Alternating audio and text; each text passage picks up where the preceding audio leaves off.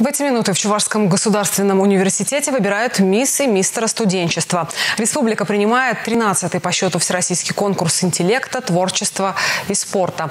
За высокие титулы борются более 40 участников из всех федеральных округов. Чувашскую республику представляют студенты ЧГУ Полина Зиновьева и Вячеслав Краснов. Сегодня члены жюри оценивали творческие заготовки участников и дефиле национальных костюмов. Финалистов выбирали в более чем 30 номинациях. Конкуренция за победу довольно высока, интрига пока сохраняется. Имена победителей еще не объявлены. За финалом конкурса наблюдают мои коллеги. Кому удалось добиться титулов «Мисс» и «Мистер студенчества» расскажем в следующих информационных выпусках.